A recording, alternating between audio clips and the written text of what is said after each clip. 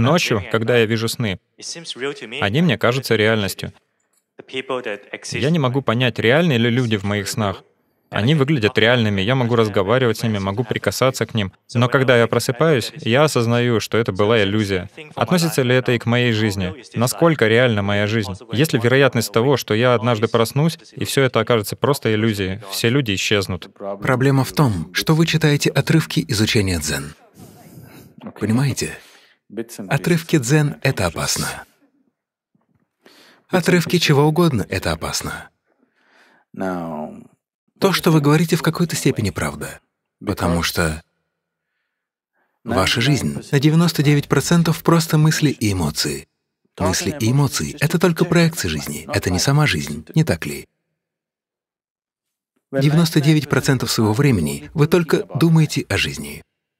Эмоция — это тоже своего рода мысль, только она более сочная, не так ли?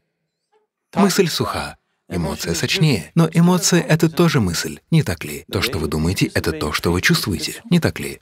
Да? Не так ли?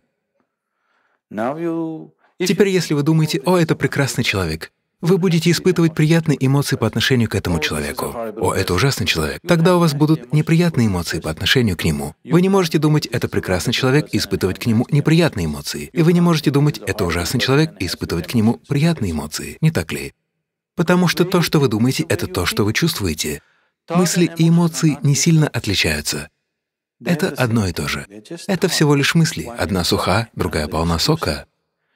Поскольку она полна сока, она будет продолжать двигаться по инерции. Так что вы думаете, что она отличается. Сегодня вы можете подумать, это прекрасный человек, завтра утром он сделает что-то, что вам не понравится, и внезапно вы начнете думать, это ужасный человек. Ваша мысль незамедлительно сделает поворот на 90 градусов, но эмоция не может развернуться так быстро. Она делает долгий разворот. Ей требуется несколько дней или даже месяцев, но через какое-то время она присоединяется к мысли, не так ли? Да? Какое-то время она двигается по инерции. Эмоции не разворачиваются сразу же, так что вы думаете, что они отличаются. Они не отличаются, это одно и то же. Это просто мысли. Одна суха, другая полна сока. Так что вся ваша жизнь — это просто мысли и эмоции. Это очень даже похоже на сон. Это и есть сон. Поскольку вы увлекаетесь дзен, то, возможно, вы слышали о Джуанзи.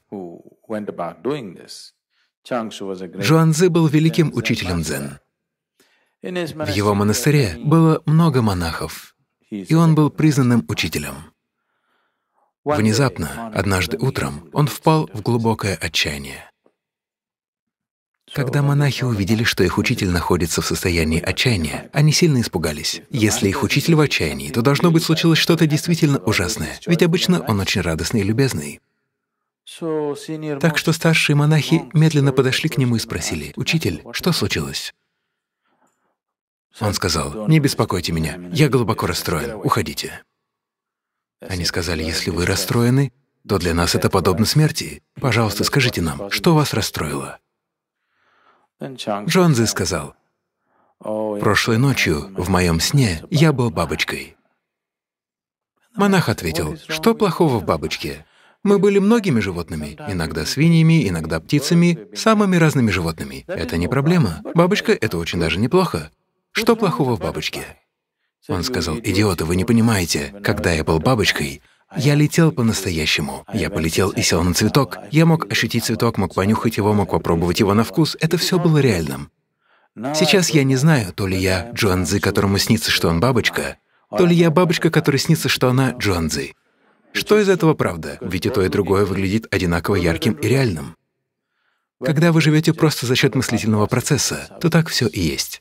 Он использовал это как метод, чтобы шокировать своих монахов и вывести их из духовного ступора. Потому что люди читают сутры и тому подобное.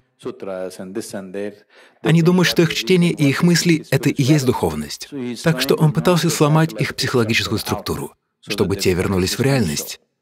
Если вы испытываете жизнь, не мысль, не эмоцию, жизнь, если вы испытываете жизнь как таковую, то такого вопроса не возникнет.